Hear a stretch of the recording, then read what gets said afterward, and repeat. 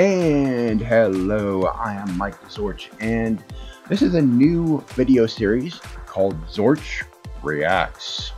I'm going to be doing some reaction videos to different gaming videos out there, and today's first video is uh, one from JoCat. JoCat has been doing these hilarious crap guide videos. He's done a series of them on D&D and those are great. But he's just done three for Final Fantasy XIV. One on tanks, one on healers, and one on DPS. And I'm going to do a reaction video to his tank trailer and comment on some things because he calls it a crap guide, but it's actually fairly good advice. Now, I don't play a tank in 14. On Momo, my Lalafell, I've basically been a healer full time.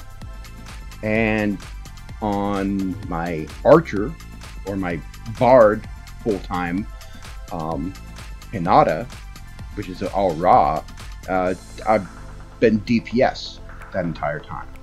And I've got some other characters where I played Black Mage and things like that, but I've been a healer full time, but I've never I've never been a tank. Never played a tank. I've unlocked the class for for tanking, but I've I've done it a little bit against Tasha, but I've never done it in full time. So I've been a full time DPS and I've been a full time healer.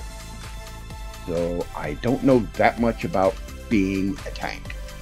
But as a healer, you have to know a little bit. And because, well, it's your job to keep the tank alive and you have to know, you know, is this tank using his abilities to mitigate damage? Because I've been in some dungeons where I've been in a few dungeons where it's harder to keep a tank alive for some reason. They're taking way more damage than they should be. So, let's get into this.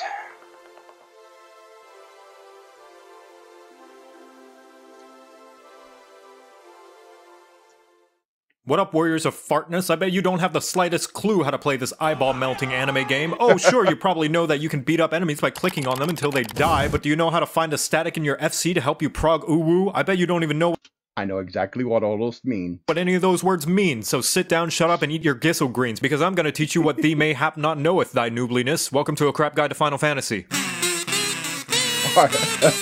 I love, I love the kazoo song, the kazoo music. The tank is the person in the front lines of every group, leading the charge to inevitable party wipes, which is because you are the most important person in the party, having slap fights with the boss since everybody else is way too squishy to handle the puss pounding. Second only to the healer. The healer's important too. Patty cake. You'll never see Jimmy's soft boots eyeing up the cloud of darkness with No. his 2x4 and scriggly tree branch. But how hard can tanking be? Turn on your tank stance, do your 1 2 3 combo, and blame the healers when you die, right? That sounds like somebody who needs their short Q privileges revoked. Firstly, Definitely. tank stance. You turn this on to start gaining enmity. What's enmity? It's where you shout at the bad guys, Hey, hit me! They'll be paying attention to you so long as you're dealing damage, so you better be dealing damage and not just having a staring contest. If you don't, then they're gonna start indiscriminately charging at the rest of the party like a dog in a movie Uh-huh. theater. If you are the designated main tank, or in light parties, the only tank, make sure this is on. If there is another tank in the party and you are the off tank, make Thing is, you can see those in the game, in the party list. You can see when someone has an, uh, has a uh, a status effect, either good, negative, or or good stat, a buff, or or a status effect. You can see that. Healers need to see those, and a lot of times I have not seen tanks with their stances up and they take a lot of damage.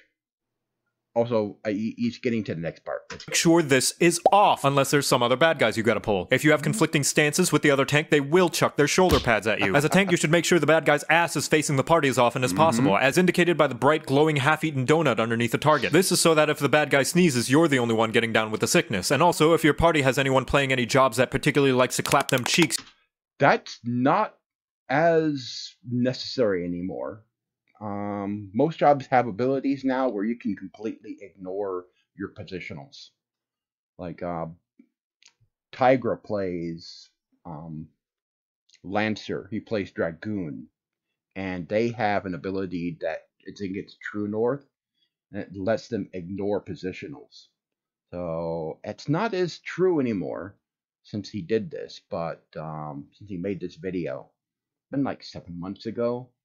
But there are still some things that need you need to be in the right position to be able to do the right kinds of damage or to maximize the use of your abilities. You've provided a bright, shiny spanking space. On top of this, as a tank, you are, by Hydaelyn's blessings, horrible at dancing, which is why you should uh -huh. move as uh-huh. little as possible once you've got the enemy's attention. That Asmongold talked about that. He he did tank, and he was not used to standing still because in WoW, he moved all over the frickin' place. But in Final Fantasy XIV, the tank's job is to hold the mob, hold the boss in one spot so that uh, everybody can just beat the crap out of it. Because some characters require positionals. It's not as necessary anymore these days, but it's best to keep the boss or a, or a large mob from moving around too much uh, because the party has to dodge AoEs and and other effects coming from the boss, and that makes it harder, especially with mechanics, especially with complex mechanics. It makes it harder for the players. So you have to keep them steady that way, the party can continue to whap the Wumpus without having to chase down the bad guy's glorious booty. Just as well, because you have control of where the baddies are, you control how useful everybody else is. So if mm-hmm. somebody puts down a useful AoE, stop fucking oh. running away from it. Now yes. that you have the baddie's attention and are in a nice cozy poking position, you don't have to worry about anything else, right? Ah, that's what I thought you'd say, you dumb fucking horse. Believe it or not, when you die, it's not entirely the healer's fault, just mostly their fault. That little bit of mm-hmm. responsibility you have is based on how well you can juggle mitigation. What's mitigation? It's the buttons that make the bad guy's slaps hurt less that you sometimes press once a subscription and never think about again. You ever wonder why you have several of those buttons that all seem like they do the same thing? Well, that's because you're supposed to space them out over the course of a fight so the healers don't have to sacrifice their entire mana pool and firstborn child to get your frail ass through the dungeon. Relate. Remember not to bust your tanking load all at once or else you're going to feel a lot of shame when you're all out of juice and the boss still wants to go about four more rounds. Every tank also has a press yes. X to not die button that can be used to survive any devastating attacks or if you're a really aggressive paladin who drew every enemy in a dungeon ever and don't want the healer to hire a hitman on you. As for what your limit break does, tanks are thicker than the average Disney mom to the point your honky chonky donkey bahonky extends to the rest of the party, protecting them from damage up to a whopping 80% at LB3. The thing is, hmm. unless you're a high-end player, you'll probably be using tank LB as frequently as a good player rolls high on loot. Overall, you have four oh, flavors to choose God, from. Yes. Punk, grunge, metal, and Christian rock. There's warrior for big axes, big anger, big self-healing, and if you like to do fell cleaves, again and again and again and again. If you prefer more brooding than cruding, the Dark Knight is great for doing your best guts impression. You get a huge-ass sword, goopy black energy particle effects, and the literal best mitigation in the entire game, but it's mm -hmm. balanced because they get the worst invulnerability button in the entire game. You press it and then it makes you die. Gunbreaker is called a tank, oh, but everybody I've, knows it's. I've seen that. I've seen that plenty of times. As main healer, oh, I I've seen that plenty of times. Yeah, you you panic. Or early on I did. Just 3 DPS in a trench coat as designated by the fact you get a fucking gun and your swings explode. But you have to be a hardcore gamer since it requires a lot of cartridges. And finally the paladin, who tries to pretend they're a healer and caster, but only when the other healers and casters are looking. But fuck all that because the most important thing is that you get the motherfucking sword and shield, baby! Try getting behind this wall of holiness, bitch! Now you know how to play tank, you're welcome. okay. As I said, I haven't played tank. So I have no idea how tanks work, really. But as a healer, as I said, you need to know if tanks is putting up their putting up their mitigation and I've run into a lot of cases where the tanks weren't. And I was just constantly having to keep a tank alive. Worst thing also is when they start when they get impatient. And this is a problem in Final Fantasy XIV where the tank will just run ahead, you just run off, leave everybody behind, and just start pulling everything in the freaking dungeon. It'll just pull a mass of creatures just to get through the dungeon faster. And it makes life for a healer harder. It makes it harder because we can only cast so fast you know, sure we get we get some instant cast abilities. We get some abilities that um, don't need MP. Well, when I get to the uh, the crap guide for healers, I'll elaborate on that. But this was this was good. This is actually this is not crap. This is actually good advice. This was actually very good advice. I don't see why he calls it crap. It is great advice, and and uh, more people should be watching these because they definitely need them, especially a lot of the WoW players. Because uh, there's been so many new people coming into Final Fantasy XIV that the game has a key, login queue 24/7. That never happens.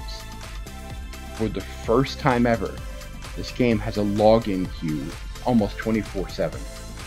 Now, Tygra said yesterday about 4 a.m. he was able to log in without a queue. That's a rarity now. And in a couple of days, uh, we're going to find out whether or not Square Enix is ready because Endwalker's dropping and about 30 40% of the WoW community, maybe a little bit more than that, have jumped ship and have come over to Final Fantasy XIV. And we're going to see whether or not they're ready because of the whole shit going on with the um, silicon shortage. They haven't been able to get server new servers online, or they've been struggling to get them online. I know that they want to bring servers online for Australia, the Oceania servers, and they haven't been able to because of all the uh, restrictions going on. Anyway, this has been JoCat's a Crap Guide to Final Fantasy Tanks. My reaction to the video, and it, it, it gets funnier from there. And I have to say, it's not crap. It's good advice. Follow it. I've been Mike Desorch. Thanks for watching.